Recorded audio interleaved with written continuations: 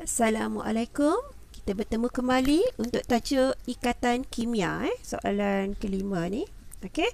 Uh, sebelum uh, kita bincangkan ikatan, kita akan tengok uh, apa soalan ni bagi eh. So Rajah 3 menunjukkan perwakilan piawai bagi unsur X, Y dan Z. Ini adalah perwakilan piawai. Uh, dalam perwakilan piawai, dia ada nombor proton dan nombor nukleon kamu kena kenal pasti mana nombor proton, mana nombor nukleon. Senang je. Yang kecil tu nombor proton. Okay? So, yang bawah ni adalah nombor proton. Manakala yang atas adalah nombor nukleon.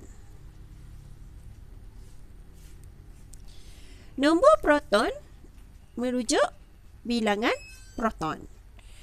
Bagi atom, bilangan proton dan bilangan elektronnya sama. Sebab atom tu new, neutral.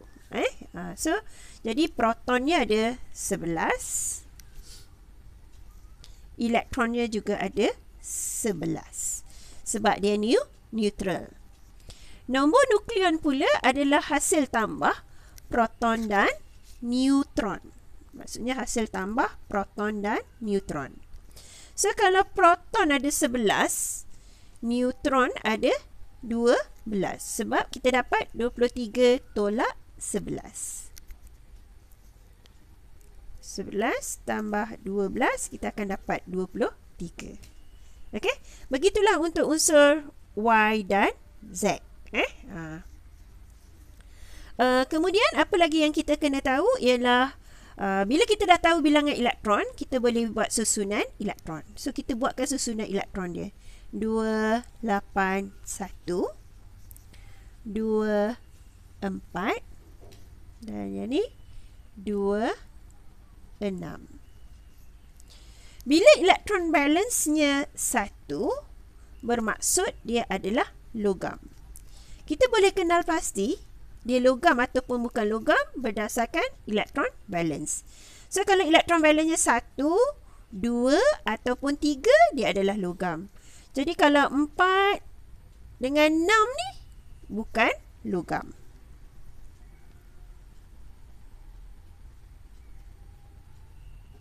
So ini pun bukan logam.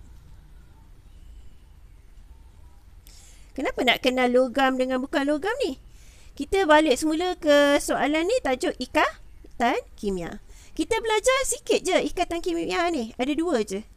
Sama ada ikatan ion ataupun covalent. So kalau ion dia mestilah pasangan antara logam dan bukan logam. Sebab tu kita kena kenal mana logam atau bukan lo logam. Kalau kovalen pula bukan logam dan bukan logam.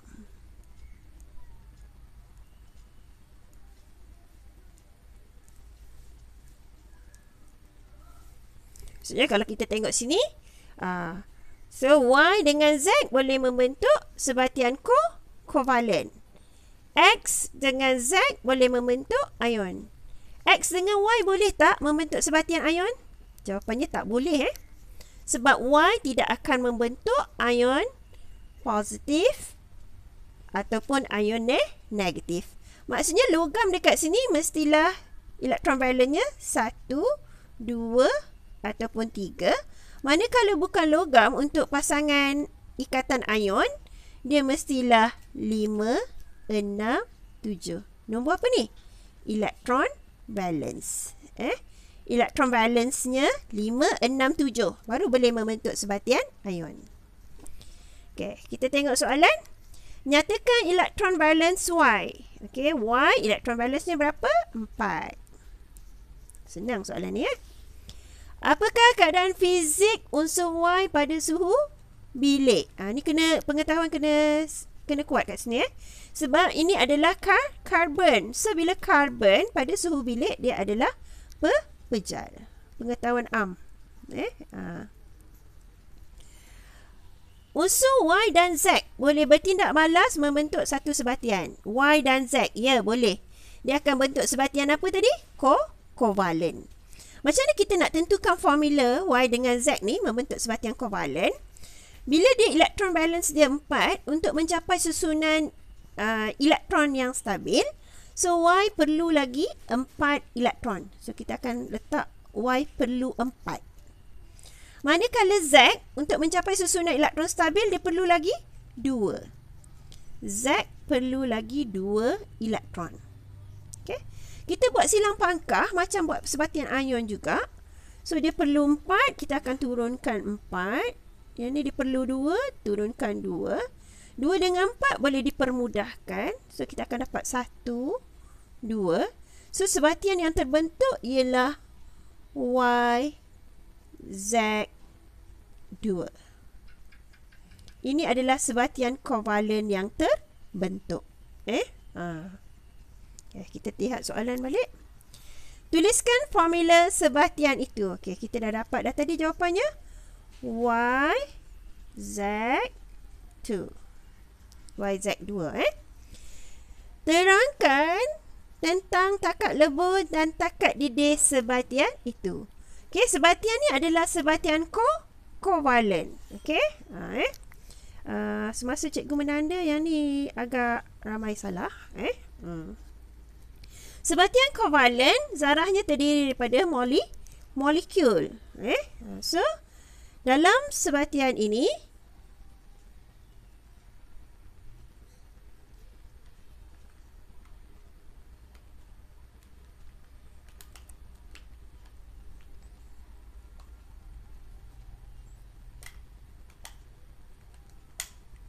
boleh guna nama daya tarikan van der Waals ataupun daya tarikan antara molekul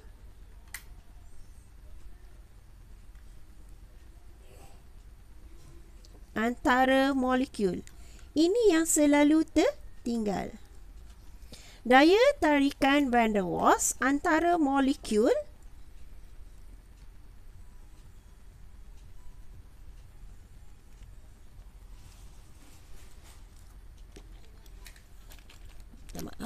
ada angin.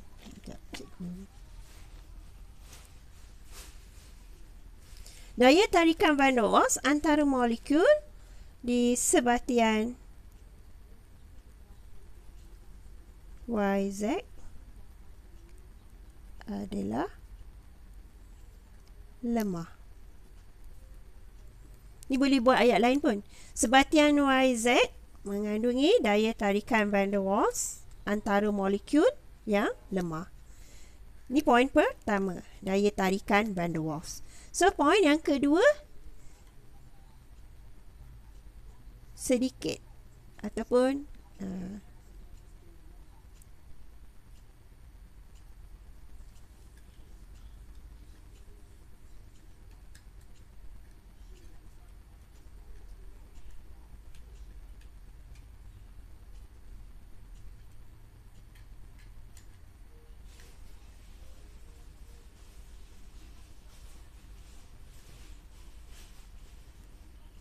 mengatasi daya tersebut. Sedikit tenaga haba diperlukan untuk mengatasi daya tersebut. Eh? So, dalam sebatian YZ ni, daya tarikan van der Waals antara molekul. Ini yang cikgu nak kamu tekankan.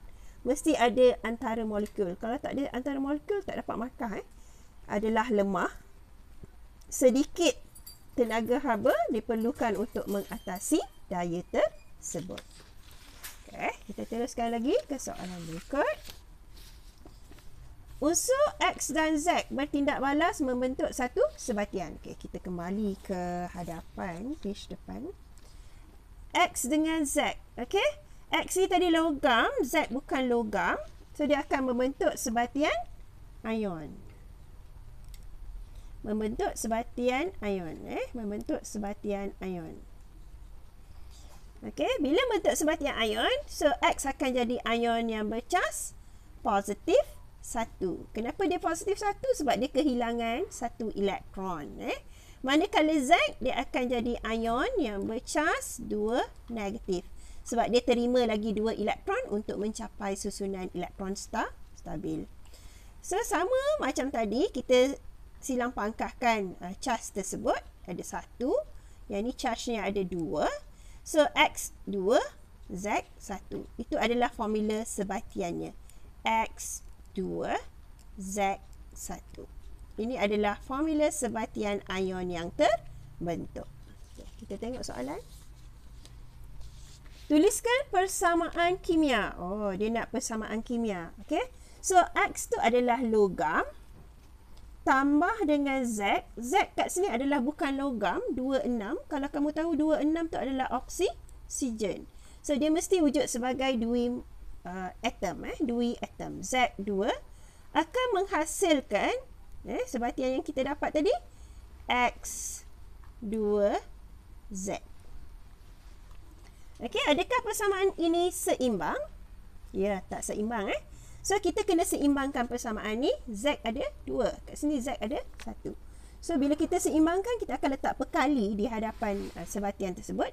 So 2 kali 2 4 So kita akan dapat persamaan 4X tambah Z2 Menghasilkan 2X 2Z Seterusnya lukis, lukiskan susunan elektron bagi sebatian itu. So X tadi 281 Dia dah derma 1 So tinggal 2, 8. Okey, X ada 2. Eh? Ah, so, kita boleh lukiskan uh, X tu sebelah menyebelah ataupun X kedua-duanya sekali pun boleh eh? ikut 2, 8. So, ada 2 elektron. Ada 8.